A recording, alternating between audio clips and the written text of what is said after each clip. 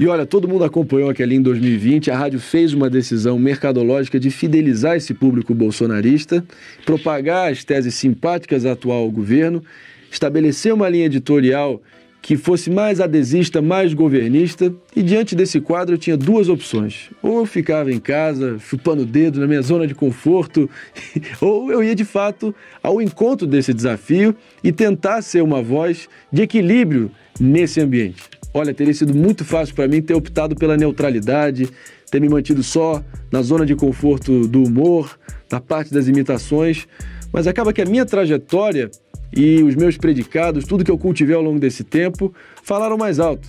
Eu sou um sujeito que acompanha desde moleque a política assiduamente, eu adoro o dia a dia do noticiário da política e, de fato, o programa em si ganhou um contorno muito politizado começando a receber principalmente convidados simpáticos ao atual governo. E eu me vi numa posição de estabelecer o contraponto, de tentar trazer algum equilíbrio para o debate. Mas olha, eu não fiz isso por mim, não, eu fiz principalmente pela audiência. Eu fiz para honrar a vocação do comunicador, que é comunicar o que pensa e pensar sobre a luz da verdade. Foi o que eu sempre fiz e disso, olha, eu tenho muito orgulho e nenhum arrependimento. Isso me trouxe muita realização, sem dúvida alguma, por um lado, porque eu representei milhares de pessoas, mas também alguns poucos dissabores, né? Como vocês podem encontrar em qualquer canal de cortes por aí.